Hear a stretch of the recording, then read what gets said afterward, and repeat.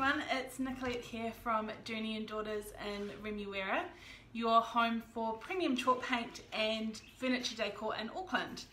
Uh, so today I thought I'd just jump on and really quickly um, show you how to use these silicone molds. Um, I haven't done this in a, or haven't been on here in a while doing these, so I just thought a quick, quick overview of what they are and how to use them. Um, so we stock these, this one's been used, this is the Fleur de Lis, um, but these silicone molds by ReDesign.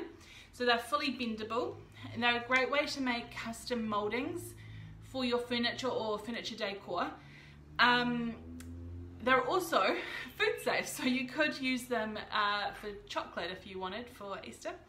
Um, but yeah, oh, like normal, if you have any questions, pop them in the comments. I can't quite see them, um, but I will answer them later and I'll save this and put it up on our blog along with everything else. Um, yeah, so this is what they look like. They come in packets like this. There's lots of different designs. They're all up on the website. Um, and you can use different materials in them. So you can use resin, uh, you can use modeling materials, air dry clay. Um, so this is the modeling material that's made by the same company. We also have some air dry clay. Um, and I'm just going to use some clay that I have open today. So you want them to be reasonably clean. Um, if you're using air dry clay, you do want, I've got mine wrapped up, you want to keep it somewhere cool. Um, so I keep it um, out the back here in the shop and you want to keep it as airtight as possible. So um, a an airtight container would work really well like a little um, I don't know Tupperware container. Um, I've just got mine tied up here with a rubber band. So I've used this a bit before. Um, and hopefully you can see I think you can see if I hold it back here. Um, so if you're using the air dry clays or modeling material you just want to get a little bit at a time um, into your fingers and you're just going to place it into your mold.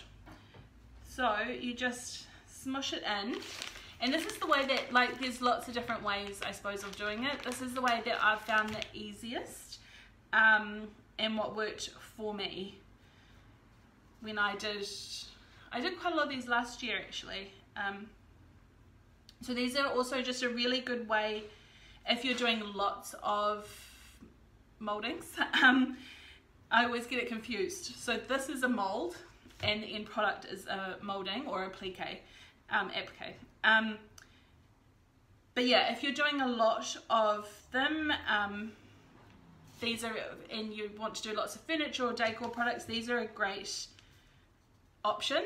Uh, if you're just doing kind of a one-off or something, uh, yeah, like a one-off um, piece or you're doing something quite different or something quite large, you might want to use the Effects moldings which are pre-made with latex um, and which I did a live and blog post on earlier this year, some point this year. Um, so, just keep putting it in, making sure that you're going to, oh, I'll just get, if I can do it holding it up closer. Um, you just want to get it in to all the edges um, right out and you want to keep the back of it reasonably flat. Obviously that makes it flatter when it's on your piece of furniture. Um, now the air dry clay, I don't have any resin so hence I'm using this. Um, resin will give you a more perfect finish. I've also seen on, probably on YouTube, people using a hot glue gun, so there's that option as well. Um, I definitely think it is worth just playing a little bit um, when you first start um, before going straight on to doing your first ones. Um, yeah, it just makes it a little bit easier. Um, but yeah, so a resin um, will give you more of a perfect finish. The air dry clay is really good for kind of a bit more of an aged rustic finish, which I quite like because then it can tie in with your paint style and gilding wax and everything. Right, So you can see here, I've got it all in. It's reasonably flat on the back. Now you just get your finger and just pull it back in towards, from all the edges, pull it in, oh gosh, hopefully you can see, towards yourself. And this will just uh, make the edges a bit sharper. Okay, now if you're doing something bigger, like maybe this one, you could uh, wait a little bit. I tend to now that it's in, hopefully, hopefully it works, um, just pop it out. My, my clay's a little bit dry. So hopefully it all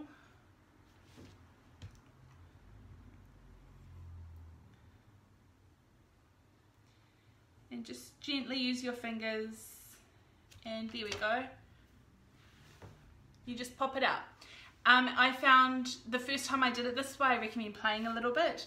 First time I did it I waited for them to dry and then when I um, or I didn't even wait fully for it to dry but I waited probably about 20 30 minutes and even though it was winter and so not anywhere near as hot it all just crumbled so that's why I tend to take them out pretty quickly um, lie them on something flat. Baking paper is actually quite good because you know it won't stick.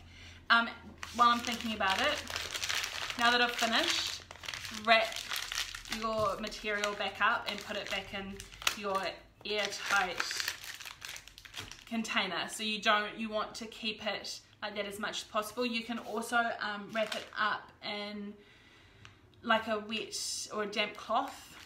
Just, you don't want it to dry out. Um, uh, I've totally lost my train of thought. But yeah, having a plate, what I also recommend is while, before they dry, so this again, I, I've done everything the wrong way.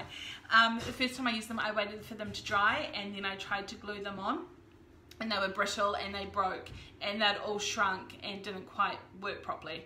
Um, so now I would make as many as I needed um, but even from now, you could go and put this, you can see here, um, you could then go and glue it straight onto your furniture and it will bend, especially if you're doing something curved. Um, I did a really great demilune with a bunch of these ones. I used this on it. Um, it will curve and it will stick on there. Now with the glue that you want to use, you just you don't want to use the contact adhesive, which is what you use with the latex moldings. It won't stick. Again, I tried all the different ones.